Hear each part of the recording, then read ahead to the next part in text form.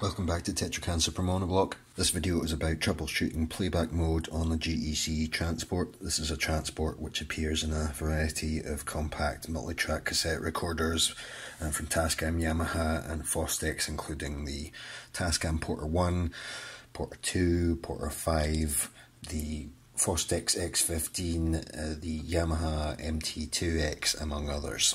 So your problems with playback mode are going to be of two broad types. One is where the magnetic heads and the pinch roller don't raise all the way up to meet the capstan here. With any problem, you want to check that you've got new rubber in there first. I've already done videos on replacing the various belts. I've also demonstrated how to remove this plate and how to remove the gears beneath.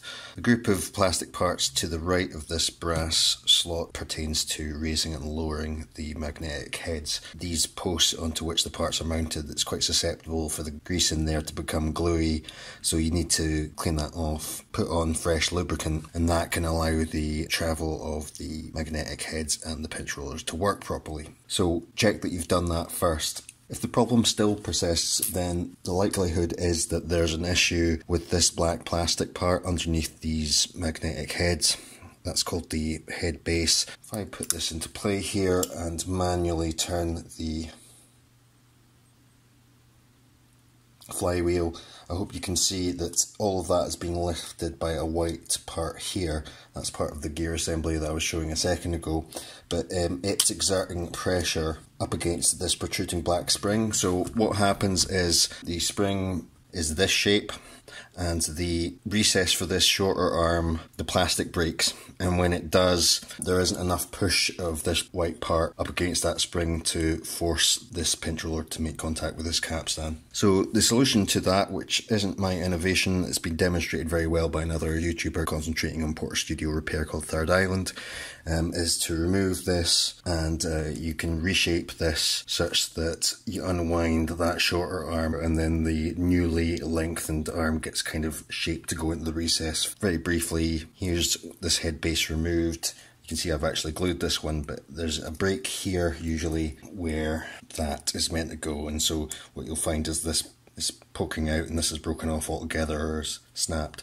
So once you unwind that, you get both legs to go through this recess here. I won't demonstrate that here. Instead, what I'll do is put Third Island's video link into the description for this one. The other category of problem you might have with this is, although this pinch roller engages with capstan fine, this idler wheel, which is responsible for turning this take-up reel in playback mode, doesn't connect with the take-up reel properly or only does it intermittently. And what you'll find is that the tape is being drawn across the heads and in between the pinch roller and the capstan fine, but it starts to billow and build up and possibly get tangled up with the pinch roller and chewed up because basically this isn't turning fast enough to wind up the tape.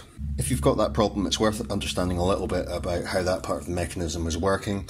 Both of these reels are contained in a base assembly, which is called the reel base assembly according to a Porta 1 service manual that I've got. It's located about there. I will be doing a separate video on how to remove this. Essentially the motor is turning via a pulley this flywheel and then there's an additional belt here that goes into the recess in the flywheel there. That goes around this wheel here. This wheel turns, that causes that wheel to turn and depending on whether this is raised or lowered, it will push against this arm here and that controls whether or not this idler wheel is in contact with that take-up reel. So the first thing to do obviously is to make sure that this belt is okay.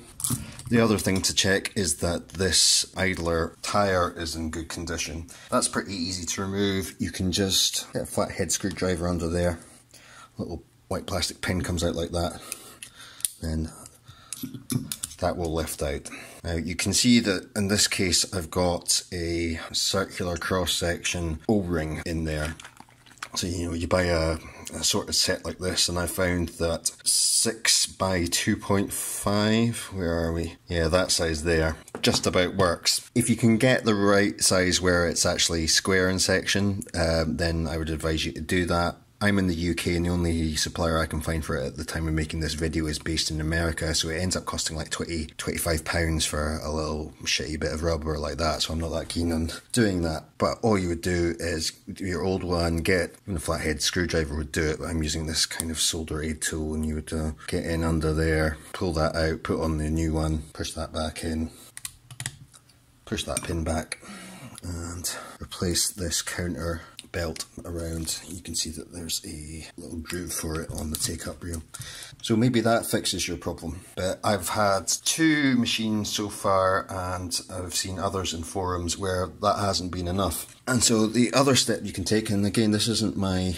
um, innovation it's um, someone else that's um, in a in a Facebook group about fixing Portastudios that I'm part of. They found that the problem was that this spring wasn't strongly pushing that idler wheel up against the take up reel. And their solution to that was to unhook that and to cut two or three winds of the spring off and then use a pair of needle nose pliers to fashion a new hook out of the shortened spring.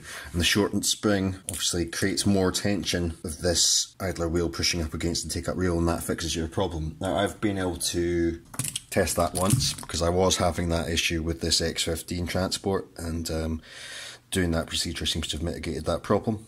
When I do my forthcoming video about removing and disassembling this, and I will be performing that on screen for this Porta 05 transport that I've got the same issue. The gears have all been relubricated, I've replaced all the rubber parts, but that's still not engaging properly, so I suspect that when I shorten that, that will fix the problem. Obviously, in the course of this video, I've described a lot of procedures about dismantling this that I'm not demonstrating within this video itself, but check my channel. I should have a playlist about the GEC multi-track transport, and that will include all the videos that you need to do any disassembly or reassembly.